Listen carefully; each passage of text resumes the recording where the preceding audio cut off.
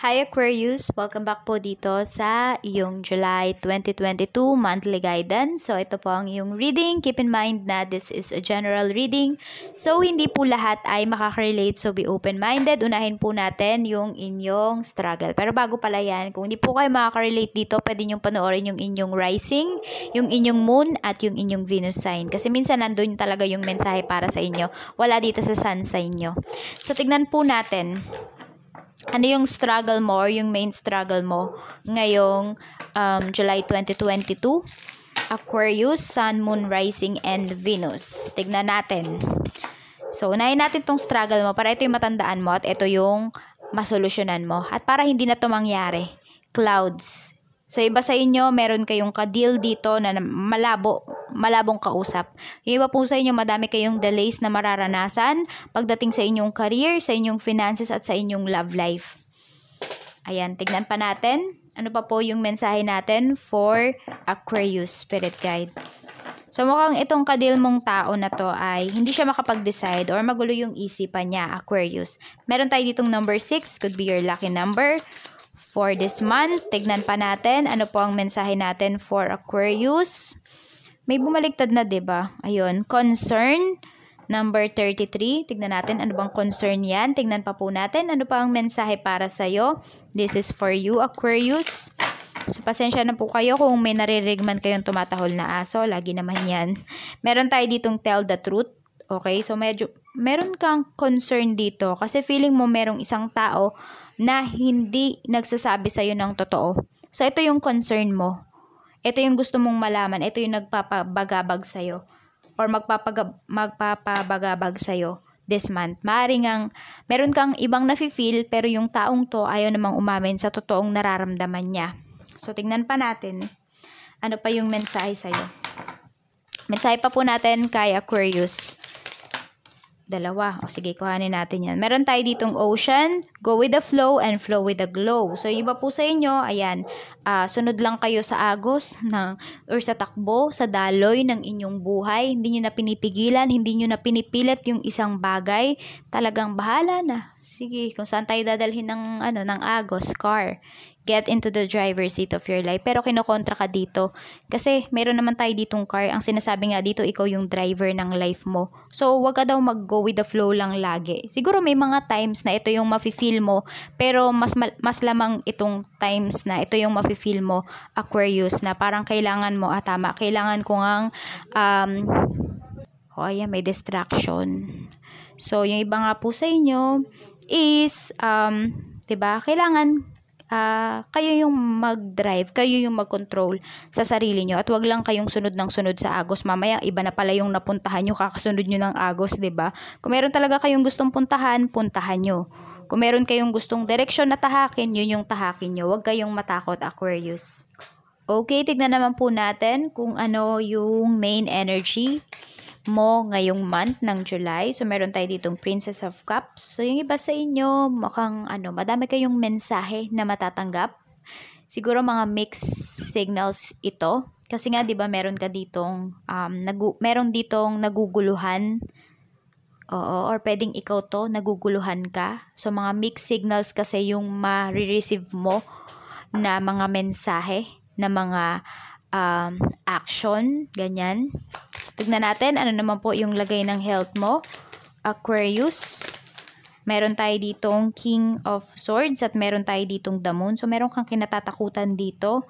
Yung iba sa inyo is na-stress lang kayo dito. Na-stress kayo kasi naguguluhan kayo. At saka po yung iba sa inyo is madami kayong delays na mararanasan this month. So yun, iwasan yung ma-stress Aquarius, hindi rin yan makakabuti sa inyong energy field. Kasi kung meron kayong minamanifest at stress kayo, malamang sa malamang hindi mangyari yung minamanifest nyo na yon. So, iwasan yung ma-stress as much as possible. And kung meron ditong magulong kausap, huwag na kayo makipag-deal sa magulong kausap na yan. Kasi kayo na maayos mag-isip, kayo na diretso mag-isip, ay magiging paliko-liko din yung isipan nyo. Kasi ma-absorb nyo yung energy ng taong yan. Okay? So, tingnan natin pagdating sa iyong career. Pagdating po sa career ni Aquarius Spirit Guide, mayroon tayo ditong Death card. Meron tayo ditong Queen of Cups. Ano pa po? At mayroon tayo ditong Ten of Pentacles. Okay. So, nakikita ko kasi dito, Aquarius is, meron kayong approach na gagawin or meron kayong new technique na gagawin dito sa trabaho nyo na mapapabilis 10 times. 10 times talaga. Mapapabilis 10 times yung trabaho nyo. Or sabihin natin, magigain, uh, magigain kayo ng more profit dito. So, meron kayong iniisip, meron kayong pinag-iisipan actually, kung gagawin nyo ba yung technique na to. Hindi naman to pinagbabawal na technique, Aquarius. Actually, mas makakatulong nga to sa'yo. So, iba po sa inyo, kung meron kayong negosyo, pinag-iisipan nyo tong mabuti kung ano, ipopurso ko kaya to. Ipopurso ko kaya yung bagay na to. Kasi alam ko, kikita ako dito. So, parang yung iba po sa inyo, um, kunwari magbebenta kayo or magpa-franchise kayo, alam nyo na mas kikita pa kayo. ba diba? Totoo yun eh. Kasi, ayan, yung iba sa inyo ha, Aquarius, kung gusto nyo mag-franchise kayo. Kasi malaki din yung kita sa mga ganyan. Kailangan lang talaga hands-on dapat kayo pag may mga business kayo para yan o, para syempre nababantayan nyo at para alam nyo kung ano ba yung takbo ng negosyo nyo. Magagawa nyo kagad ng paraan, um, you know, makapag-isip kayo ng mga ideas.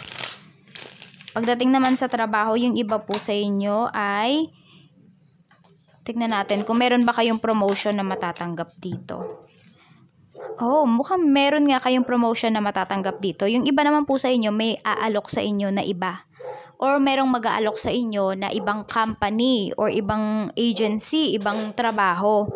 So mukhang pag-iisipan nyo yan. Mukhang matatempt nga yata kayo dito Aquarius eh. Natanggapin yung bagay na yan. So tingnan naman natin yung, yung um, ano to, kung gusto niyo naman pong magpunta ng ibang bansa, makakapagtrabaho ba kayo abroad? So, hindi to ngayong buwan ha, pwedeng this year or up to next year. Tignan natin, makakapunta ba kayo ng ibang bansa para sa work nyo, Aquarius? Six of Swords, yes. Yes yan, o. Oh. Tingnan nyo, may pag-travel dito. So, maybe six months from now, magta-travel po kayo. Or 6 weeks from now, pa pwede. Mas magiging tahimik nga yung buhay nyo din eh. Doon. Yung iba nga po sa inyo could be hindi kayo magta-travel for work. Kung hindi magta-travel kayo kasi doon na kayo mag uh, for good sa ibang bansa. Tignan naman po natin para sa mga gustong mag-start ng negosyo ngayong buwan. Para naman po sa mga gustong mag-start ng negosyo. Okay, so meron tayo ditong the chariot and meron tayo ditong king of pentacles. So, ipurso mo daw yan. Sabi sa'yo ni universe kasi eto, oh, mas magiging stable yung finances mo. Mas magiging maganda yung iyong finances. Yung iba po sa inyo could be cart ito. Yung umaandar ba? Rolling cart. Yung iba sa inyo. Or pe, pwede na meron kayong motor. Yan yung gamit-gamit nyo sa inyong negosyo. Could be, yung iba sa inyo, bibili kayo ng motor para dito sa inyong negosyo. So, tignan natin. Siguro mga deliver-deliver, ganyan. Tignan po natin yung kaperahan mo Aquarius ngayong buwan. Kamusta po yung kaperahan ni Aquarius ngayong buwan? So, meron tayo ditong Judgment, meron tayo ditong The Lovers, meron tayo ditong Four of Swords, at meron tayo ditong The Hanged Man. So, yung iba po sa inyo could be pinag pinapadalhan lang kayo ng asawa nyo ng allotment. Aquarius. So, parang ikaw dito, naiisip mo na ang dami ng sinacrifice ng asawa mo para sa inyo or ng father mo. Ayan, so parang naiisip nyo yatang mag-business dito. Or pwede, iniisip nyo din dito na mga ibang bansa din. Oo. Tignan natin yung kaperahan mo. One more card po para sa kaperahan. Nine of Pentacles. Na maganda naman po yung iyong kaperahan, nabibili mo naman yung mga gusto mo, nakukuha mo yung mga gusto mo, Aquarius, hindi ka hirap sa pera ngayong buwan. So, iba nga po sa inyo, ayan kasi hinihintay nyo yung allotment ng mister nyo or ng missus nyo. Mm, -mm. So, meron kang pinag-iisipan dito pero hindi ka pa sigurado kung ipopursue mo ba. Siguro ikaw to, yung pa, palit-palit ka ng isip, hindi ka sure. So, siguro na may takot ka rin kasi na nararamdaman. So, tignan natin. Huwag kayong magpo-control sa sinasabi ng ibang tao, ha? Aquarius, kung meron kayong gusto ditong um, meron kayong gusto dito, i-person nyo talaga. At lalo na kung meron naman kayong puhunan or meron kayong pang simula. Tignan natin pagdating po sa love life ni Aquarius Spirit Guide, ano po yung mensahe natin? Meron tayo ditong Taurus. Ayan, create a structure. O, di ba umpisahan nyo na. Number 2, Taurus. Maybe yung, yung kadil nyo ay Taurus. Pwedeng meron kayong Taurus sa inyong natal chart. Ayan. Create a structure. So, dapat umpisahan nyo na talaga kung ano man itong mga naiisip nyo. Tignan natin kung ano ang mensahe para sa mga single, in relationship at married po na Aquarius.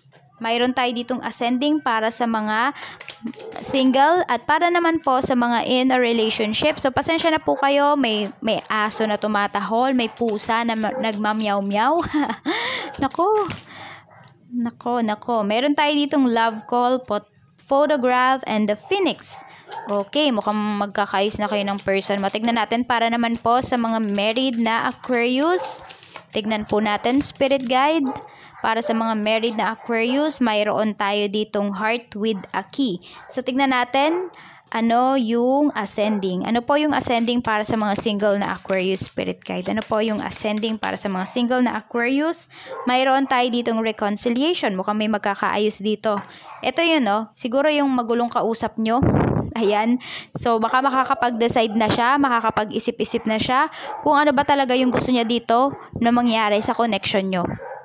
Pwede rin, Aquarius, na may babalik from your past. Ayan, someone from your past is returning to your life. So, mukhang may makikipag-ayos sa'yo dito, may makikipagbalikan sa'yo. Ayan, para sa mga hindi pa nakaka-move on sa kanilang ex. Meron naman tayo ditong love call, photograph, and the phoenix. Ano po ang ibig sabihin nito, Aquarius? Para sa mga in a relationship. Aquarius, para sa mga in a relationship na Aquarius mayroon tayo ditong this could be the one. So, di ka matitiis nitong person mo. Kung magkakaroon man kayo ng away, meron man kayo ditong hindi pagkakaintindihan, kailangan mo lang sabihin sa kanya yung totoo. You've already met the romantic partner you seek. So, wag mo nang pakawalan yung taong to kasi mukhang seryoso naman talaga sa'yo to. Oh, siguro lang meron lang kayong mga pagtatalo pero hindi naman kasi yun maiiwasan sa isang relasyon. Lalo na kung nagmamahalan kayo at mayroong mga selos-selos na nararamdaman sa'yo ang person mo. Heart with the key para naman po sa mga married. Ano po ito? Spirit guide. Mayroon tayo ditong religious factor. Your love life is influenced by your religious upbringing and spiritual path. Heart with a key, welcoming love, meeting the one, getting together.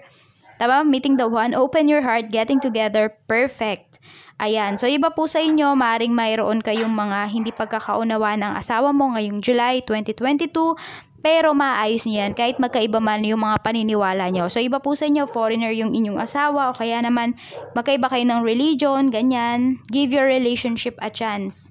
Okay, huwag kayong sumuko dito. Kung ano man to, kailangan nyo na mag-usap ng maayos.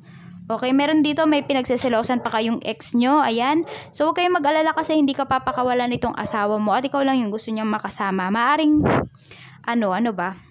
Siguro yung ex niya yung lumalapit sa kanya. Okay? So, sabi dito, work on your partnership.